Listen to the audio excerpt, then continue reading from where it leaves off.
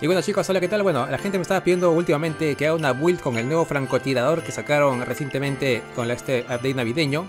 Nos referimos al francotirador Northstar. Así que en este video veremos una build para este francotirador secundario. Aunque esta build también podría servir para el francotirador Pronghorn, que también es secundario, pero en este caso vamos a centrarnos más en el daño, ya que este francotirador Northstar tiene poco daño, tiene menos daño que el Pronghorn. Así que para eso vamos a ver las habilidades recomendables. Tenemos acá bolsas médicas con inspiración en básico. Le ponemos un cómplices. Y aquí las habilidades recomendables para este francotirador. Bueno, como este rifle francotirador tiene una precisión bastante baja, con esta habilidad vamos a incrementar la precisión al apuntar con la mira. Y también como tiene poca munición, le ponemos la habilidad experiencia municiosa en Ace, para que por cada dos disparos recuperemos una bala. A ver, por lo demás tenemos acá lo siguiente, ¿no? Mejoras para, en este caso el blindaje, Carroñero en básico, esta parte de habilidades también en básico. Fantasma las siguientes, ¿no? En este caso también impactos críticos. Y finalmente, poquito igual las mejoras para duales, 9 vidas y Berserker en Ace. Ahora en primaria vamos a llevar unas duales. Bueno, no he encontrado otro subfusil que sea mejor en cuanto a ocultación y daño que estos Hider duales, ¿no? Es de las mejores, así que por esta razón siempre vale la pena equiparla para este tipo de builds. A aquí está modificado con el supresor Tichina. Mejora de ocultación. Tenemos acá láser compacto. Cargadores rápidos. Y finalmente la culata extendida. Bien, ahora con respecto a la secundaria, obviamente vamos a llevar el rifle francotirador Northstar. Pero vamos a modificarlo de la siguiente forma, ¿eh? Aquí le ponemos un supresor, en este caso el supresor Tiwas. Una mejora de ocultación. Le ponemos acá, si gusta un láser compacto. En empuñadura le ponemos la empuñadura recta que vino con el Gauge Weapon Pack número 1.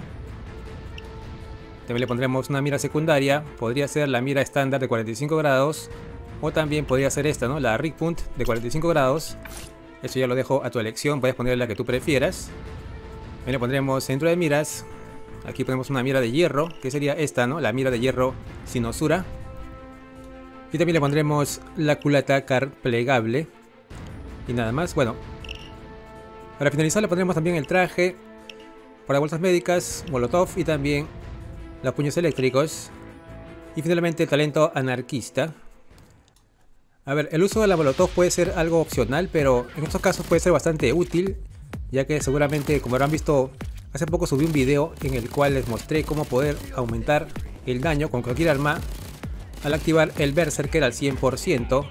Les va a aparecer el video más arriba seguramente en la tarjetita. Si miran el video van a poder aumentar entonces, ¿no? De esta manera activar el Berserker a su nivel máximo. De esta manera van a poder hacer más daño con este rifle. Este rifle es un rifle muy similar en características y en daño al Contractor, solo que vemos que tenemos pocas balas y también un daño bastante bajo. Así que por esta razón hemos tenido que hacer uso de este Berserker para de esta manera incrementar el daño base de esta arma que de por sí pues, tiene un daño bastante bajo. Y también eh, bueno aquí pueden ver que de cerca únicamente utilizamos las duales para matar de cerca. Siempre apunten a la cabeza con estas armas traten de apuntar siempre a la cabeza ya que de esta manera las muertes que hagan serán prácticamente instantáneas ¿no? tanto las duales como también el francotirador gracias a las habilidades de Berserker en combinación con la habilidad para hacer impactos críticos. Ahí pueden ver de que cada disparo es bastante eficaz. Ahí pueden ver de que enemigos que estén un poco más lejos, vamos a apuntarles con el arma secundaria. Y también cuando estén así alineados, ahí pueden ver de que se incrementa la chance de hacer eh, daño colateral con la habilidad Grace. Y aquí pueden ver que con cada dos kills a la cabeza vamos a reponer una bala a la munición total. De esa manera también ahorramos un poco de munición, ¿no? Por supuesto, únicamente utilizando el francotirador en este caso, ¿no? Así que bueno chicos, espero que les haya gustado esta build con el francotirador secundario Northstar. Es una build que la gente me estaba pidiendo con mucha insistencia. Y la verdad pues es un francotirador que... La verdad es que no me pareció tan, tan bueno como el Pronghorn. Pero ya ven que con las habilidades que le hemos puesto y también con el ingenio, hacemos de que el arma sea bastante más efectiva. Ahí pueden ver este, esta muerte que le hicimos un headshot al francotirador que estaba a 100 metros de distancia. Así que nada más chicos, espero que les sirva la build. Y sin más me despido, nos veremos entonces hasta un próximo video. Adiós.